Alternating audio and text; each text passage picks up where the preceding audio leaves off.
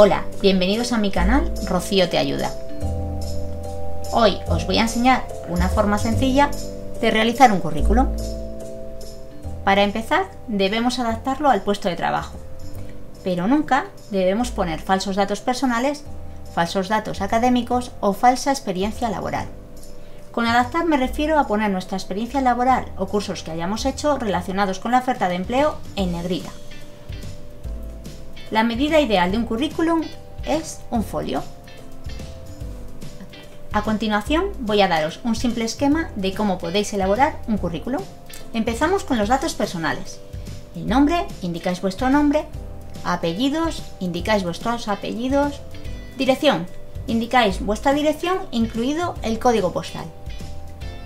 Teléfono, aquí podéis incluir el móvil y también si tenéis fijo, el fijo. Email, aquí ponéis en la dirección de vuestro correo electrónico. Carnet de conducir, indicáis si lo tenéis y cuáles. Aquí también es conveniente añadir si tenéis coche, moto, etc. Títulos académicos. En este apartado aparecen los títulos académicos que tengáis. Si por ejemplo poseéis una licenciatura, no hace falta poner que también tenéis bachillerato. Cursos de formación. Aquí se añaden los cursos que hayáis realizado. Experiencia laboral. Os aconsejo que el orden a seguir en este apartado vaya desde la última ocupación o trabajo actual hasta el primer trabajo. Si habéis trabajado en bastantes empresas, solo ponen las más recientes e importantes.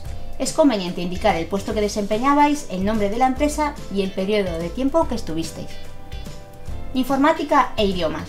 Aquí indicáis qué programas conocéis en el caso de la informática y en el caso del idioma, cuáles conocéis y qué nivel tenéis tanto hablado como escrito. Otros datos de interés.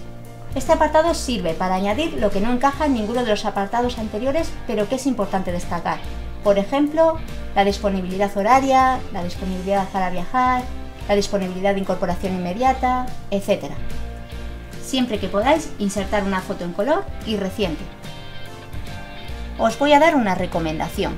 El currículum tiene que ser muy claro, esquemático y destacando lo importante para que el técnico de selección con una simple mirada pueda obtener toda la información que desea y que tú quieres transmitirle. En la descripción del vídeo os dejo el enlace a mi blog, donde encontraréis una explicación detallada junto con una plantilla que podéis descargar para redactar vuestro propio currículum. Bueno, esto es todo por hoy, espero que pronto os llamen para muchas entrevistas de trabajo, muchas gracias por visitar mi canal, si queréis os podéis suscribir y hasta el próximo vídeo.